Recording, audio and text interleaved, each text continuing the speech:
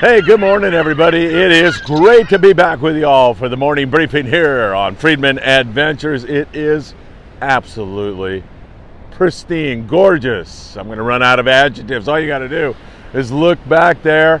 It looks calm, it looks beautiful, it's perfect for surf fishing, and we are going to get a little break in the weather. So, boats are already fishing bluefin tuna down south. Channel Island boats, it sounds like those guys are going to get out and give it a try. Some of them did yesterday. We'll talk about how they did. And of course, we've got some great stuff on the horizon for each and every one of you. Some wonderful events that we would love you to participate in. I was down there at Island Fishing Tackle in Carson. Man, it was great to see so many wonderful friends once again. I met Fred, I saw Jody, of course, Sam and his entire crew. It's always great to see them and so many others. Always fun to get out and meet and talk to the great anglers we have here in Southern California. Mike Stout is one of those great anglers. He hasn't been feeling 100% lately, so I want to send him all my very, very best. Mike's a great guy. He's getting better all the time, and we send him all of our blessings for a speedy recovery. Mike, just keep getting better. All right, let's jump into a lot of different stuff. I'll remind you all that we are having a raffle on this Sunday. We have that special event. Remember the casting event? You know, you're going to be able to look at different types of setups, pick them up, feel them, see if they feel right to you, talk to some experts like Sam Delatorre and his whole crew from Island Fishing Tackle. Also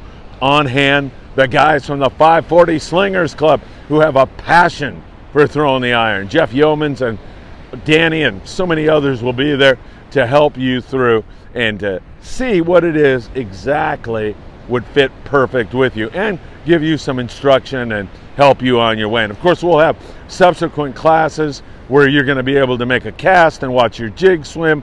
It's going to be great. And then the after party, of course, will be down at Scholb's in Long Beach. It's on 4th Street. It's really close. You got to come by for a cold beer, a hot cup of coffee, something to eat. And you know what? You're not bugging me if you do this. I've got in my pocket some free chips that'll get you a free beer or a soft drink if you're a kid or a cup of coffee if you're like me. So hit me up. Say, Phil, before I run out of those things on Sunday, when you see me, say, hey, I'm going to Scholb's. I want one of those little beautiful free drink tokens, and I'll be sure and give it to you while they last. I think I have like 50 of them, so don't let me forget, make sure you ask me. The raffle is for a Talica 20. They are hard to come by right now. And Israel de la Cruz is the guy responsible for donating it. Israel saw our efforts down in Mexico. We've been doing a lot down there to help the people thanks to you. I mean, I am just Santa Claus. You guys are the ones who donate so much clothing and so many goods. And when we do raffles like this, we're able to go down and feed hotel workers in two hotels who were really hurting here recently in Rosarito and in Playas de Tijuana with the help of my friend Gerardo Delgado down there in Mexico. And so, and in Cabo San Lucas, when we took all those skateboards down there, and literally thousands of gifts that we handed out clothing, jackets, and so much more. And this is going to help us ship down even more. And I'm thinking, as crazy as my schedule is right now, this is probably going to be a Christmas giveaway, but we'll see. We're going to get the stuff shipped down to Mexico and then we'll be able to distribute from there. And I will invite, I'll put together a little package. You can come down and help me distribute the stuff and see what your good works are doing. Anyway, you can get in on that raffle 20 bucks a ticket for this Talica 20. You can buy them there at the event on Sunday. You can buy them in the restaurant before 2 o'clock because at 2 p.m. we are drawing the winner.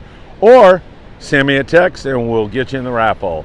That is 657 227 6459. All right, bluefin tuna down in San Diego. I have no doubt that that stuff is going to continue to bite. I talked to an angler at Sam's place yesterday who had been fishing it on a private boat, and he said it has just been incredible. You know, it's only 17 miles from the corral in Ensenada until you're in bluefin heaven. Man, is that close. And from San Diego, of course, about a 60 mile run down the coast.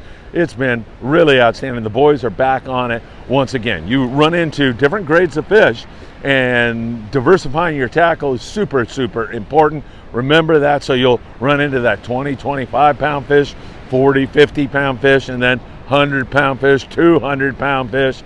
It's amazing the different grades of fish that you could encounter, but there's enough of that big fish around where I wouldn't send you down that way without a two speed uh, with 80 pound. You got to have that. Then you've got to have something to fish that 30 to 40 pound.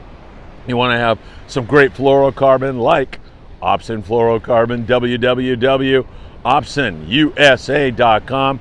Put FA Friedman Adventures in at checkout for a free gift and a note from Greg. That is super important. Choosing a good hot bait, all of those things working. Of course, fishing lures has been so effective, like that 100 gram to 300 gram size lure. Sam's got a bunch of them right here at Big Fish Bait and Tackle. They just got a ton in. Also, you can get lured up at those places, and man, that has been such an effective way to get the job done. The night bite, probably, not probably, it has been by far the best. It's really been on fire, great fishing at night, and some guys are suggesting that you just kind of take it easy during the daytime and get ready for the night bite. I know me, I like my sleep at night, so that's a difficult one for me. But with those giant bluefin tuna, not that difficult to get motivated and get out there. Those 6 a.m. boats like the San Diego, the Grande, the Liberty, the Malihini, a lot of those boys are out today and they have been getting in on this bite. I mean, there's been some absolutely spectacular bites for some of those guys. The fact that you can have a shot at a 200 pound tuna on a trip that leaves the docks at 6 a.m. is still mind boggling to me.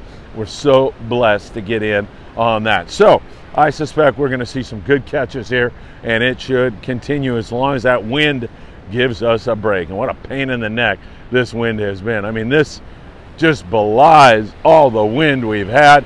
It is absolutely gorgeous here this morning. Couldn't be any more lovely. Let's hope that it keeps going. You know, the guy that I talked to over there at Island Fishing Tackle, and I'm sorry I forgot his name. Hopefully he'll watch and put up a comment in uh, on YouTube. But um, he told me that he saw those bluefin feeding on krill. He watched that happening, and according to him, and I wonder if anybody out there has this similar experience, he said that the fish, when he eats it now, the bluefin, after it's been feeding on that krill, he thought it tasted much better, much cleaner.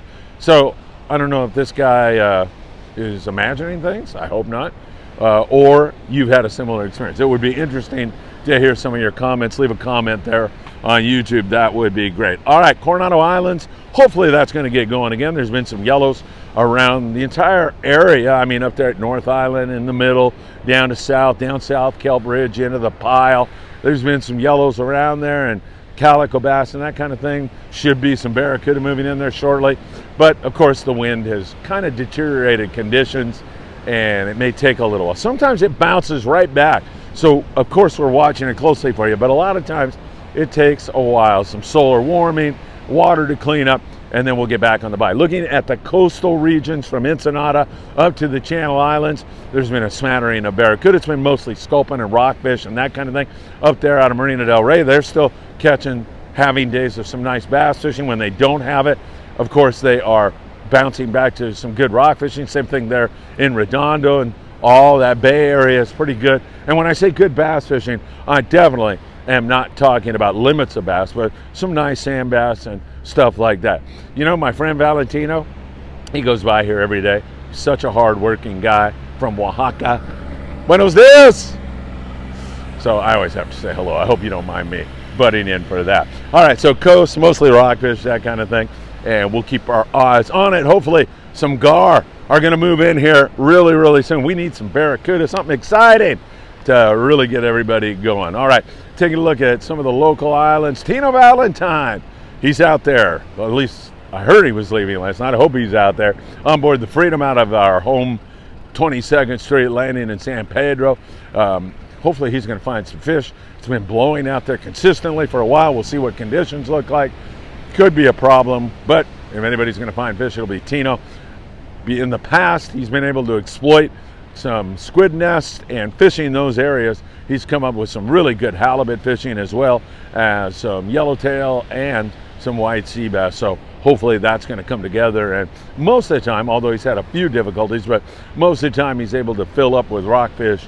Also, sea lions have been a pain in the neck out there also. So we'll keep our eyes on it. Santa Barbara Island, we continue to see some really excellent fishing out there. At times, again, conditions, that's the question. Wind does have a great tendency. In fact, most of the time it happens that conditions deteriorate and surface fish don't like to bite that much in it. So we'll watch that very, very closely for you all and see if SBI will start kicking out halibut and yellows and sea bass. Once again, continue to monitor that for you. And Catalina pursuits getting back out there. You know, that island also suffering from conditions that are not perfect, but we have seen quite a bit of yellowtail there. I'm very enthused. Freelance, Pursuit, other guys have been picking off a few yellows, no huge scores, some barracuda, a little bit of calico bass, a lot of shorts, but it just seems like the island is saying, can you please give us a little break? Can you turn the fan off? And we're ready to bite. So we'll watch that very closely. The wind up there in the Channel Islands been a A1 pain in the you know what. It's been brutal up there. Some of the guys tried to get out and make something happen yesterday, but it didn't happen. However, looks like we've got a little window opportunity this weekend. I know the Island Spirit out of Ventura Sport Fishing will be out there looking around, and so will many of the overnight boats. Endeavor, Ventura Sport Fishing, Aloha Spirit, many of the other guys should get out there to give it a shot. And I think the Cobra and a few other boats are out also again today. So hopefully they're going to get back on track because there's such a great signal up there for white sea bass. I mean, it is really, really good right now. And hopefully we're going to get some good weather and get back out. Those sea bass up there, yeah, there's been that 20 to 40 pound fish, but there's been fish in the 60 pound mark. And fingers crossed that we're going to be able to come up with a catch of sea bass or yellows or halibut. And of course, copious amounts of rockfish are always in the mix up there in the Great Channel Islands. All right. I was mandated to talk surf fishing, and the only reason I haven't been talking about it is because I'm an old guy and I forget sometimes. I apologize. Surf fishing, look at, I mean, it's perfect. One thing I will tell you right now is that a couple of things are colliding right now that are perfect for this weekend, and that is the high tide with the sunrise, and also the high tide with the sunset. Those are magical times, sunrise and sunset. Fish just like to bite. Sometimes the tide is not even of consequence, but when you get those to line up and you get this kind of weather, guaranteed you're gonna get a bite.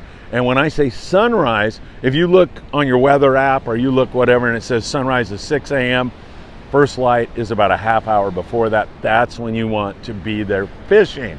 So you want to get down there about 15 minutes before that. So 45 minutes ahead of time, get a bait in the water and sunrise with the high tide and nice weather, all magical. I love the sandworms. You can dig them up yourself. Ghost shrimp work really, really well. You can also fish artificials like lucky crabs, crocodiles. That should all work pretty well. I was down here the last time and had a pretty good bite on the rays, butterfly rays, and those dumb round stingrays. Curse of civilization. Man, those things are so small. But when they get you, and I've been stuck many times, uh, it hurts like hell. So be careful. You can do the stingray shuffle where you don't lift your foot up, you actually just shuffle along the beach, but they'll still get you. I've had them get me that way also. So be careful with those round stingrays. There's been quite a bit of corvina though in the real shallow area, so that's something you want to fish. Fluorocarbon's a way to do that. Light line, they're wily critters. Corvina have a tendency to just kind of cruise along the beach. They're looking for sand crabs, they're looking for mussel, whatever it is they want to feed on. And so if you see them, take a run up ahead of them and then toss your bait right in front of their nose about six feet so they actually swim right into your bait and that works like a charm. Should be some more yellowfin croaker, should be some more halibut. It looks pretty darn good to me. And remember, sunrise and sunset, it is absolutely perfect right now. Grunion Run on the horizon on May the 16th, and that always is an attractant, a magnet. It's gonna bring a lot of game fish into these beaches, and that happens ahead of time. So keep your eyes on that. And by that I mean those fish start to stage, the grunions start to stage a few days ahead of time, and fish are more active, starting to move up on the beach. So when you look out there, you see those waves break. Like this wave is going to break right now. And then the wave that's farther out there, that is going to dislodge all kinds of critters like sandworms and sand crabs and even mussels and clams. So those fish actually, surf fish, like to stage right behind where that wave is breaking. And then when it breaks, they swim in and start looking around for whatever has been dislodged in the surf. So when you're throwing a lure, you know exactly what to do. You want to be coming through that area and further out in this with a lure is better. But right when that wave breaks, you're behind it with your cast and then you're coming through that where those fish have staged up behind it and they're moving in to feed on it. All right, we're gonna give away a Talica 20 on Sunday at Scholb's in Long Beach. I hope you can make the casting event.